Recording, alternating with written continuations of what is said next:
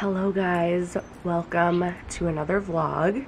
If you're new here and you don't know me, my name is Sam. Oh, the wind is blowing my camera. this is something that's long, long overdue. I have been trying to get to this point and wanting to do this since 2014, over seven years now. and I finally am just like, fuck it. I just can't do this anymore. So, I have been on birth control pills since I was 17 years old. I am now 29, so it's been 12 years. And I originally got on it just for pregnancy prevention. Um, I didn't have any issues with my period. I, you know, had a completely, I, I first got my period when I was 11 and always had a regular period. But I started becoming sexually active at 17 and so my mom was like, you should get on birth control. And then when I was around 21, I decided, I, I like went through a period in my life where I was like, you know, didn't want to eat any processed foods. I was trying to be more natural and I just wanted to detox my body and I wanted to stop taking the pill, especially because it, I found that it was like making me sick sometimes. Like if I didn't take it consistently at the exact same time every day, it would make me nauseous and throw up. So I just stopped taking it. I like finished a pack and then didn't start a new one. And shortly after that, I started experiencing a lot of weird symptoms. Um, the first thing that I noticed was I never got a period after that. And I was really nervous. I took many pregnancy tests because I was like, oh my God, what's going on? Because, um, like I said, I had never missed a period before in my life, never even had a late period. So I was like, what's happening? And then I started noticing that I was putting on weight pretty quickly. Even though nothing had changed in my diet, I was, you know, eating pretty clean. I was exercising regularly. Nothing had changed. There was no reason why I should have been putting on weight like that. Um, and then my skin started breaking out. I was getting a lot of like cystic acne, especially around my jaw area, which was very weird because I had never experienced that before. Um, I also was just noticing that I was feeling really sluggish and tired all the time. I felt like there was just like this constant haze around me, like I was just in a fog. I was starting to experience depression. I also noticed that I was like experiencing joint pain. I had like extreme sensitivity to cold. I think those were like the main symptoms and I just like just something didn't feel right I didn't feel like myself I wasn't feeling good and what's so crazy to me is I never made the connection I never thought that it had something to do with the pill or me getting off of it I just thought like oh my god what's going on so I made an appointment to go to my gynecologist because um, I felt like something must have been up with like my thyroid or whatever. And I explained all the symptoms that I was experiencing and she was like, It sounds to me like you have something called polycystic ovarian syndrome. And I was like, What are all these words that you're saying to me? What is that? And she was like, And it sounds like, you know, your thyroid could be off because that could be contributing to the weight gain and stuff. So she ordered like a full blood panel for me. So I went, got my blood taken, and then based on the blood test results and based on my hormone levels, she diagnosed me with PCOS, which is polycystic ovarian syndrome, which at the time I had never heard of this term before. At this point now, I feel like it's become so common and it's talked about everywhere. So I feel like most people, even if you don't really know what it is, you've at least heard of it before. And to be honest, I don't even 100% know what it is. I've done so much research and I've asked my doctor so many times and I feel like I never really get like a clear cut definition and it seems like there's so many different types of it and so many different ways that people can be diagnosed which is just weird to me. It just seems like it's something that's not that well understood and for something that's supposedly so common they say that about 20% of women have it. It's weird right? My doctor told me that it's something that you're born with and that most women don't experience symptoms of it until later on in life, usually in like their 20s. Um, and there's different things that can kind of trigger the symptoms because um, it can kind of be like dormant in your body, I guess. And usually, like, once women have kids or get on birth control and then stop, that's when it can like trigger the symptoms. And the symptoms of it are a lot of what I described. Plus, some women will also like lose their hair. Their hair will start thinning. They'll start getting facial hair. From my understanding, anyway, what it means is that you have cysts on your ovaries that release hormones that mess with the other hormones in your body. But basically, what it comes down to is you have a hormonal imbalance, and hormones are very powerful and they affect a lot of what goes on in your body. They control a lot of things. And normally, when one hormone is out of whack, other ones are going to be as well. So, yes, she diagnosed me with PCOS, and then she also said that my thyroid levels, my thyroid hormone was a little bit low. So she said that I technically had hypothyroidism as well. So then she referred me to go see an endocrinologist, and that doctor then sent me for more blood work. And he told me that my thyroid levels, yes, they were slightly low, but it wasn't like dangerously low or anything crazy. It was just a little bit off.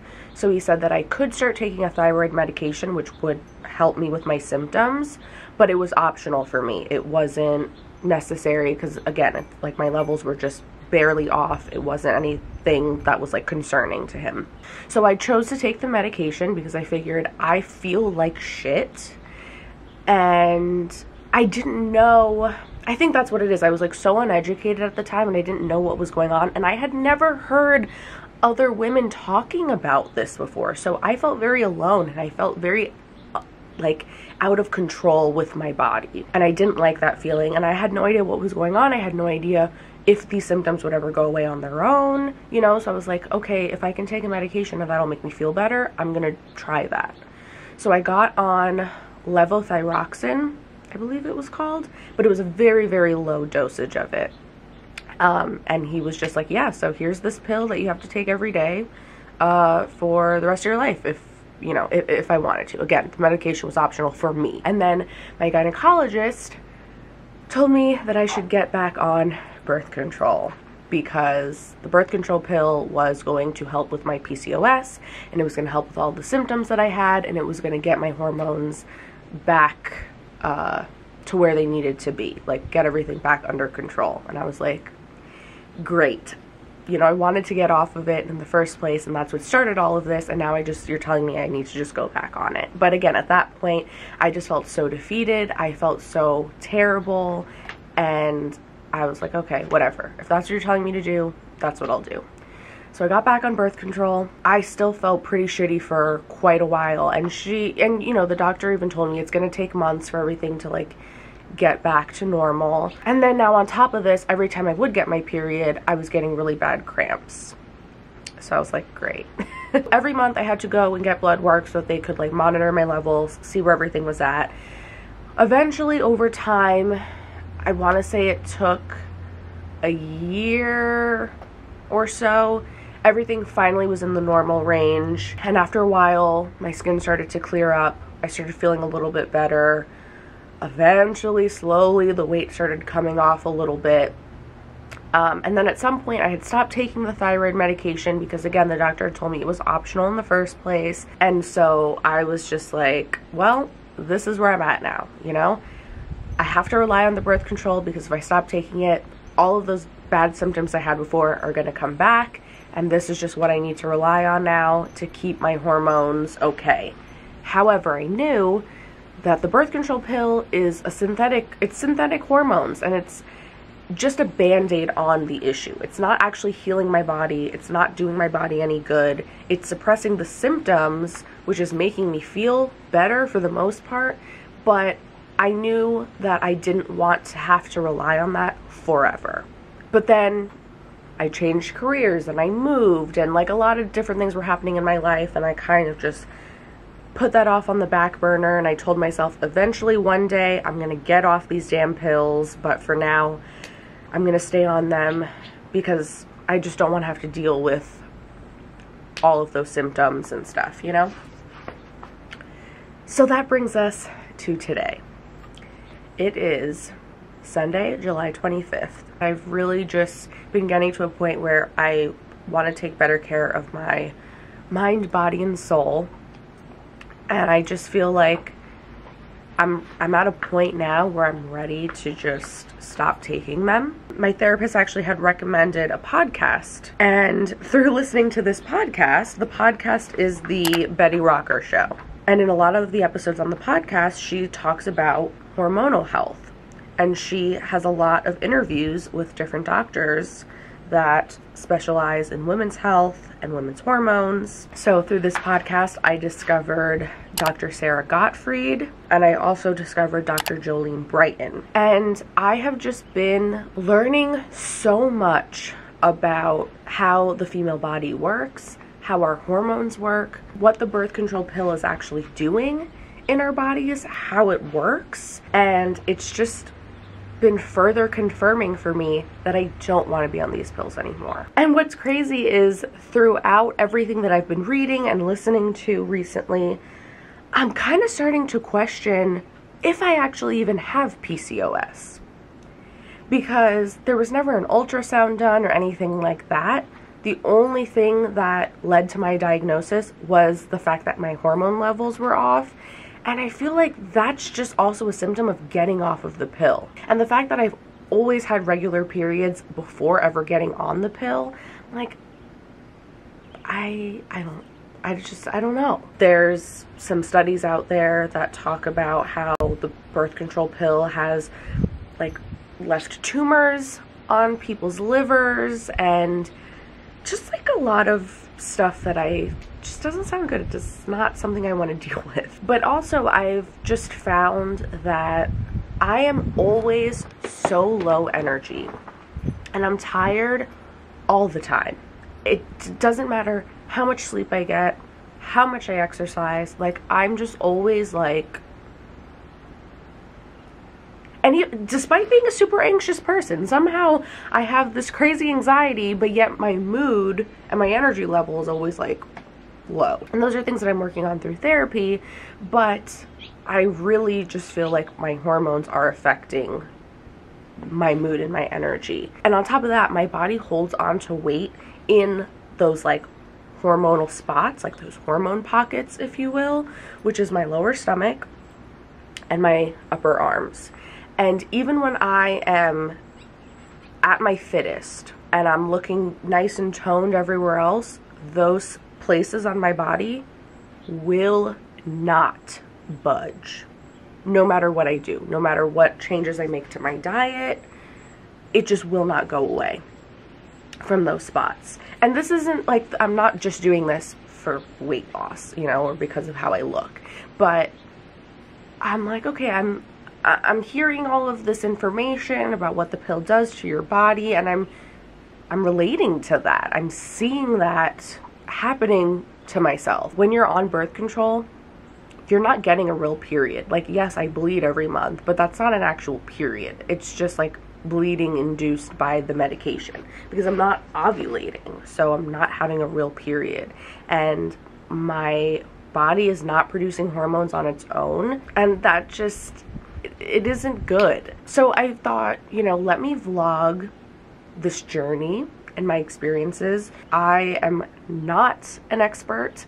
I have no medical training. I'm, you know, I'm not a doctor, obviously. I'm just a normal person just trying to feel better and just learn about my body. And I just want to share my experience for other women out there if you're going through something similar so that you can relate to this and also so that I don't feel as alone going through this because I know that once I stop taking the pill, my hormones are going to be all over the place and those symptoms are probably going to come back. My mood's probably going to be all over the place. So hopefully, if I can vlog it, I, I will feel like I have a support system that's there with me. So, um, Dr. Jolene Brighten, who I mentioned before, she has a book called Beyond the Pill, and she has a whole website with a bunch of information. So I've been referencing her website. And I also downloaded, she has a free PDF with um, like a nutrition guide because that's the thing. Like,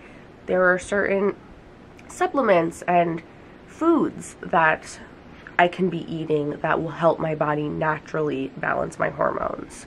So I'm gonna do that. So hopefully those symptoms that I had before won't hit me as hard. And then I also had heard about the Alani Nu. They have like these balance supplements that are supposed to be good for naturally balancing hormones. So I placed an order for those. So those should be arriving later this week. And I'm hoping that all of that stuff will help me. I have one week left in my birth control pack.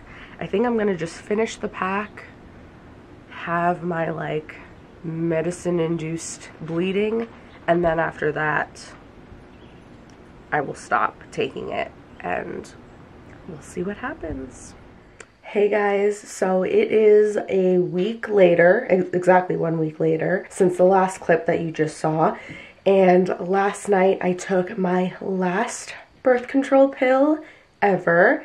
I wanted to just finish the pack that I was already on because I'm not sure if it actually makes a difference or not, but I figured I may as well just finish the pack, go through like the usual cycle rather than just like stopping in the middle. I should bleed because I know technically it's not a real period, but you know, I should get my period in the next few days. Normally I get it like on Wednesday or Thursday. And I started taking these supplements from the brand Alani Nu. This is not sponsored. I bought two bottles of this actually with my own money. They were kind of expensive. They were like $50 each. I've been reading a lot of really good things about this online. It has really great reviews and I actually saw that SMLXO, she's another YouTuber, she just recently did a video talking about how she's been off the pill for a year now and this is what she used to help balance her hormones and she said that it helped a lot and she noticed a big difference. So I'll put a link in the description to these if you want to take a look at them and read